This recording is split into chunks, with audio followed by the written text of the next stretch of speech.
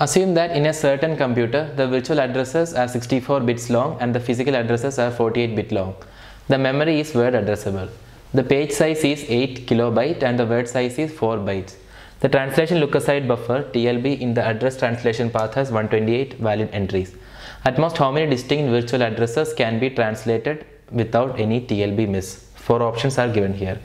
So this is a question coming from operating systems topic regarding TLBs, paging, etc. So if you don't understand these concepts, please refer to the video lectures to learn about TLB, virtual address, etc. and then come back to the question. So in the question they have given us that the TLB has 128 entries. Now each entry will be pointing to one page in memory. Meaning we can refer to 2 power 7 pages at the same time using the entries in TLB. Now size of each page is 8 kilobyte Therefore, the number of words in page will be equal to 8 kilobyte divided by 4 byte. Word size was 4 byte. That will be equal to 2k or 2 power 11.